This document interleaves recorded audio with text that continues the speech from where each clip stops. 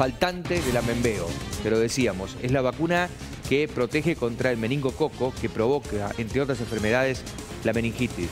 La misma está dentro del vacunatorio nacional. Uno entiende e interpreta que la crisis puede generar achiques en la economía argentina.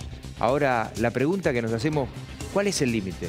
¿Cuál es la explicación para que la vacuna que desde hace años está incluida en un vacunatorio eh, nacional que es ejemplo en el mundo por la cantidad de vacunas que, contempla, este, no esté llegando. ¿Cuál es la problemática real? Esto tiene que llegar desde nación, de nación a provincia, provincia reparte en los municipios. Eh, el problema no es de hoy, ¿eh? lleva más de un mes en donde las dosis no están llegando. En principio habría una promesa preliminar este, que la semana que viene quizás llegue. Pero mientras tanto, los papás, en algunos casos, el que económicamente puede salió a comprar la vacuna, porque en lo privado está. El tema es el costo, que ya te lo vamos a contar. Eh, pero en lo público, a la hora de ir a vacunar, la primera dosis, recordemos, es obligatoria a los tres meses. Pero cuando llegan a los centros vacunatorios, la vacuna no está y por lo tanto no pueden colocársela. Hemos hablado con el responsable de la asistencia pública y lo explicaba así.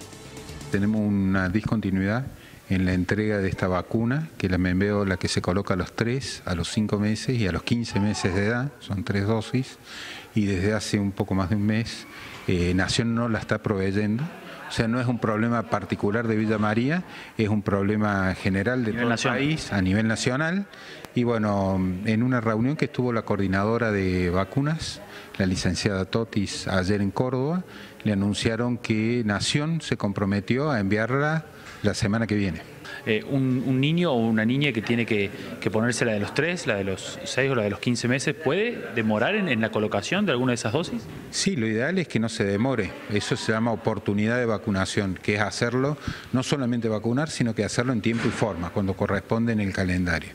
En estos casos, algunos chiquitos que los padres no han podido comprar la vacuna, porque algunos padres sí han podido y han comprado esa dosis, pero en los que no han podido, bueno, queremos completarle cuanto antes el esquema y después seguir con el intervalo que corresponde para seguir colocando y completar todo el esquema de vacunación para antimeningocóxica. ¿Tiene, ¿Tiene el valor de cuánto sale esta vacuna en el, mercado, en la farmacia? Eh, más de mil pesos, lo que me dijeron, mil doscientos pesos aproximadamente la dosis. Es cara, una cara, es una vacuna bastante onerosa este, y es por eso que estamos insistiendo en su provisión gratuita, ¿no?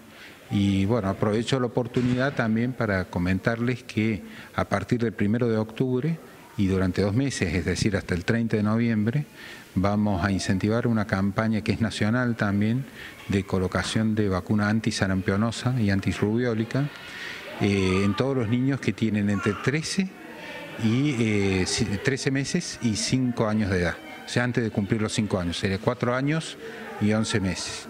En ese grupo etario que son unos 6.500 chicos en Villa María, tenemos que vacunarlos a todos con una dosis extra.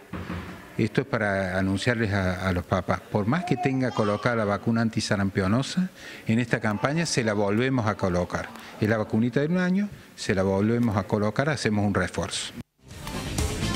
Bien lo explica el doctor Jure, no hay responsabilidad municipal, no hay responsabilidad provincial. Hemos hablado esta mañana con el doctor Fortuna en producción y nos decía, ellos estaban esperando que las dosis lleguen.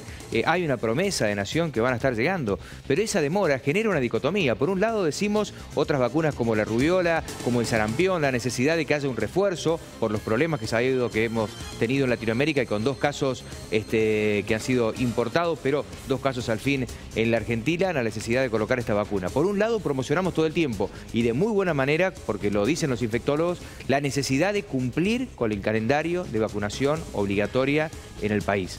Y por otro lado sucede esto. Aquellos bebés que tienen tres meses, los papás necesitan protegerlo con la vacuna. Pero la vacuna no está. A ver, me corrijo. La vacuna está. No llega gratuita. Si vas a comprarlo a la farmacia, te voy a mostrar la placa el precio que la vas a pagar. Algunos podrán hacerlo.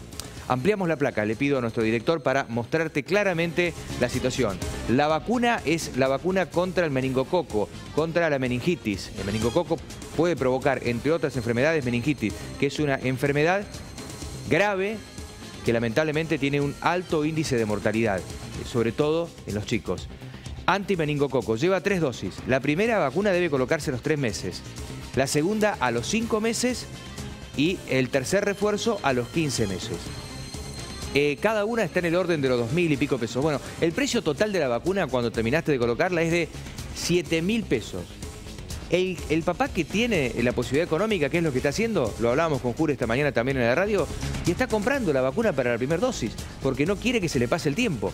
Entonces, por lo tanto, están colocando la primera dosis, el que puede pagarla, va con la tarjeta, va a la farmacia este, y compra la primera dosis que debería ser gratuita para que su hijo no pierda el tiempo, literalmente, de colocar la vacuna. Es la salud de los chicos. Pero ¿y el que no lo tiene? El que no tiene esos 2.500, y esperemos que llegue la vacuna, si no lo que van a necesitar son 7.000 pesos para protegerlos. ¿Qué cantidad de familias no tiene estos 7.000 pesos para vacunarlos? Te recuerdo, el Estado tiene la obligación. La vacuna es gratuita, obligatoria.